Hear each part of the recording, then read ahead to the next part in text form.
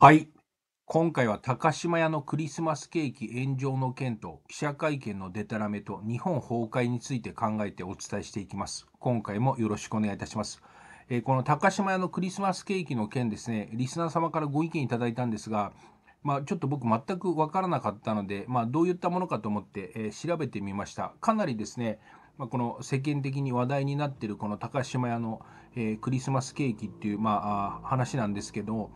まああのまあ、僕は思うことがありまして、えーこのケーキがめちゃくちゃになってるとかって言われるんですがめちゃくちゃになってるのは別にケーキではなくて日本だと思うんですよね。でこういったものを隠してる可能性があると、まあ、僕は思いまして、えーまあ、以前にもこちらの内容はお伝えしたことがあるんですが今回ですねまた違った角度からこの件を考えていこうと思います。えー今回もよろしくお願いいたします。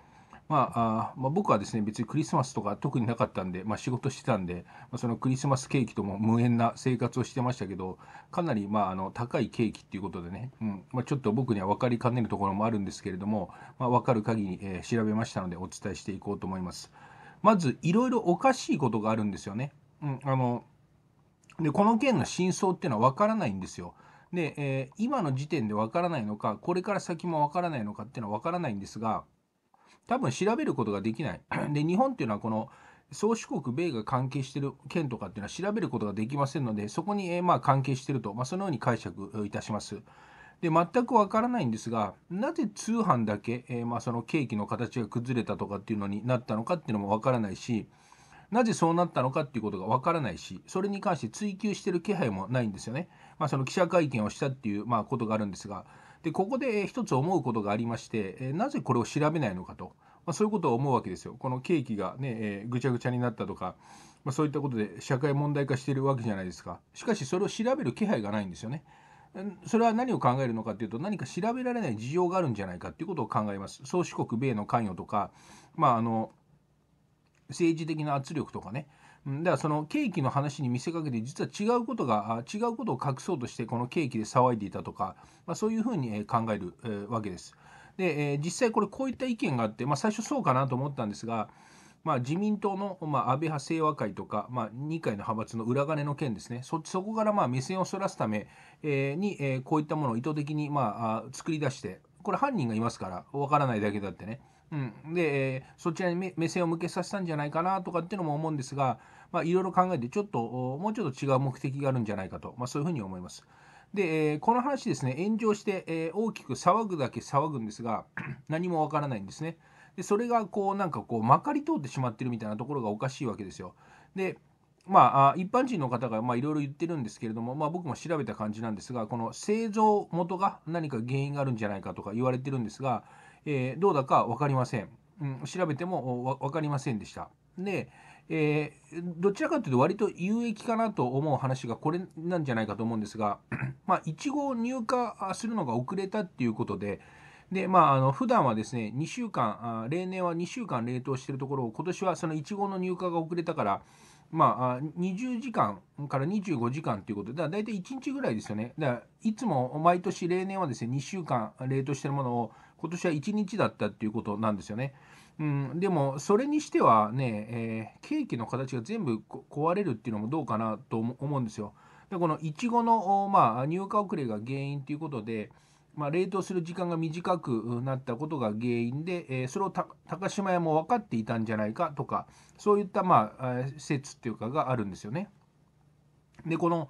ケーキが結構高いんです。よ5000円ぐらいするっていうことで、えーまあ、その5000円ぐらいするケーキ、に関して、えーなんかその冷凍するとか、まあ、そういったものが、まあ、保管上難しいのかな、ま、そんなような意見もあるんですけど、えそれもそういうふうに言われてるだけでよくわからないんですよ。うん、で調べて考えてみたんですが、えー、分からなかったんでそそちらちょっと申し訳ないんですが。でこの製造元の冷凍時間が短い。だから普段はね、えー2週間毎年2週間が今年は1日っていうこと。でまあその配送の時にも何かがあって、まあ、それが原因で形が崩れたんじゃないかとかって言われるんですね。まあ、もしかしたら配送する人の人手不足とかそういったことがあったのかもしれません。でそれに関してもはっきりと言わないからわからないんですよ。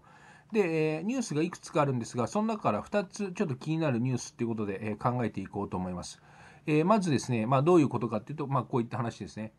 まあ、オンラインで販売したクリスマスケーキの一部が崩れて、えーお客に届いてしまったということで、12月27日に、え高島屋の専務があ、まあ、言ったんですが問題の原因を特定できなかった理由として、えー、まあ、製造配送と、まあ、同じシミュレーションが困難なためといったことなんですね。で、まあ、そのサプライチェーンの全工程における責任は高島屋にあると言ったんですが、まあ、何なのかなって思うじゃないですか。で、この調べた結果、このケーキの製造委託先の、まあ、温度管理が適切だったっていうことなんですね。で、今度、ヤマトの運輸も、えー、あの温度は大丈夫だったって、車両の事故もなかったっていうことなんですが、じゃあなんでそんなことになったのか意味がわからないじゃないですか、普通に考えてね。で、この、まあ、問題となった横浜のフランス料理店の、まあ、監修したケーキなのかな。うん、5400円って高いですよね。で、それが、まあ、2800個売れたっていうことなんですよ。で、えー、まあまあこういうことになったのは初めてだとかって言ってるんですがでしかもわけは分からないんですが、まあ、この件に関して、えー、業績への影響はあまあ、軽いって言ってるんですがいやいやいやまず業績がどうこうでなくこれねもうその冷凍がうまくいかずに食べて食べた人がね調子悪くなった人は困るじゃないですか。だからこのニュースに出てることの意味がわからないんですよ。うん。どこにも問題がなかったみたいなことを言ってるんですがどこにも問題がなかった割には問題が起きてるわけじゃないですか。一体何なのかなって思いません？僕普通に何なのかなって思うんですよ。で考えたんですけど、えー、分からなかったんですね。何があるんだかさっぱり分からない。うん、で、えー、今度もう一つニュースがありまして、まあ、そのクリスネット販売したクリスマスケーキが、えー、まあ、崩れた状態で、まあ、お客さんに届いてしまったということに関する、まあ、記者会見、えー、ということですね。でこのえー、高島屋の、まあ、専務営業本部長っていうのが、まあ、言って、えー、まあまあ、相談数が増えてるっていうことで、うん、でここなんですよ。現時点で原因調査の状況を説明すると見られているっていうことでで最初ですね12月26日の時点では1200件だったのかな、うん、でしかし、えー、24日に公表したあ件数から5.5倍すごい増えてるじゃないですか。うん、だからこれ何があったのかなって思うわけですよ。で、えー、まあ、どうしてるのかっていうと、まあ、高島屋はその お客さんに対して、まあ、返金とか、えー、まあ変わった、まあ、その、まあ、ものを送ってるとかっていうことが書かれてるんですが、まあ、このねえー、なんかよくわからないんですけど、すいません、えー、5400円のストロベリーショートケーキ、高いですね。あと、まあ、ま、それか、そそれが、まあ、2900個、えーまあ、予約販売して、えー、12月22日から配送したところ、えー、まあ、ケーキの破損を訴える投稿が相次いだ、うん、全くねちょっと考えたけど意味がわからない、うん、皆さんも多分意味がわからないと思うんですよ。で今度こちらに関してはまたおかしいことを言っておりまして、えー、高島屋は現在原因に関して調査中とかって言ってるんですよ。先ほどのニュースではなんかわからないとかって言ってたじゃないですか。だから何が何だかわからないんですよね。うん、で高島屋としてはあの輸送状況について、えー、関係を調べているとかって言ってるんですが全く意味がわからないですよね。で、え、さらにね意味がわからない展開に飛んでいくんですよ。高島屋はあ現在調査中っていうことで何が原因かわからないんですよね。えー、まあ、ケーキの梱包なのか、まあ、その宅配の問題なのか何が原因だかわからないんですがその原因がわからない上で高島屋はですね再発防止を徹底しますって言ってることの意味がわからないんですけど、うん、原因分かってんじゃないの？あるいは原因がわからないこれ適当なこと言ってんじゃないの？意味が全くわからないんですけどねだって原因がわからない以上再発防止なんてできるわけないじゃないですか。でこれっていうのは多分僕はこういうふうに思ってるんですよ。あのまあ、僕のこれは考えです。憶測になるんで正しいかどうかって言ったら分からない。え、ただこのように考えられる。高島屋はあ、まあ、あの 原因が分からなくて、まあ、あの操作してるとか何とか言ってるんですが多分分かってる。高島屋はどういったことが行われていたかっていうのは分かってる。しかし、えー、この件っていうのはあ、まあ、追及できないということですね。だもしかしたらですよ、えー、何者かあるいは結託したものがですね、えー、回答してまたそれを壊してまた再び、えー、まあまあ、再凍結したとかそんなことが言われてるわけですよ。で僕もそう思うんですよね。うん、だから高島屋と まこの関係してる者たちってのは多分分かってる。しかしその件は追及できない。えー、まあ、その事情っていうのは別の事情があるんですね。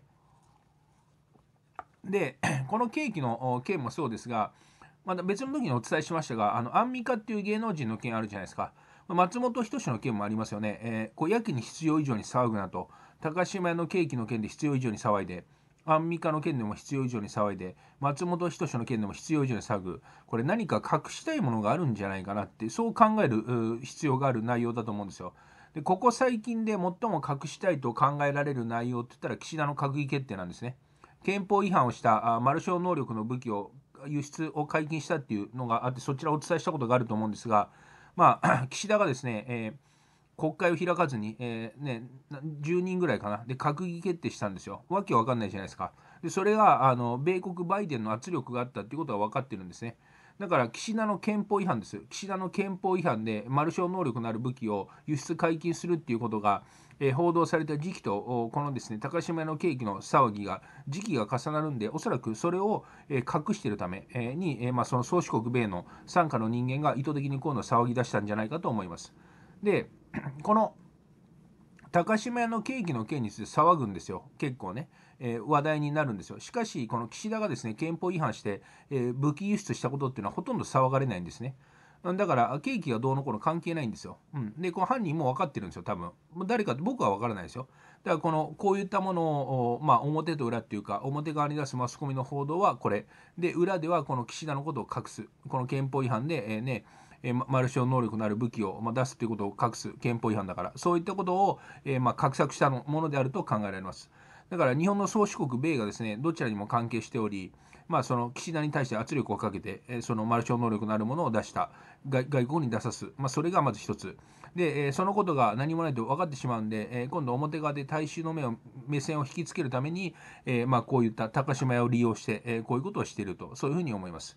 だからあの原因が分からないのに謝罪してる適当なふりをしてるわけじゃないですか。で、原因がわからないで再発防止をしてるわけわかんないんですよ。でこのわけわからないことからこのように思いました。で、おそらくですが、えー、時間が経つことによって国民がこういうのを忘れるだろうなと思ってるで、そういうことをやってんじゃないかと思います。別にあの面白いことを言うわけではないんで申し訳ないんですが、壊れてるのはケーキではなく日本です。そういったことに一人でも多くの方が気づいていただければと思いまして、こちらの件について調べてお伝えさせていただきました。まあ、こちらの件、注目の話題ということなんで、何かしらですね、ご参考になっていただける点があれば何よりですということで、今回はここで終わります。最後まで聞いていただきましてありがとうございました。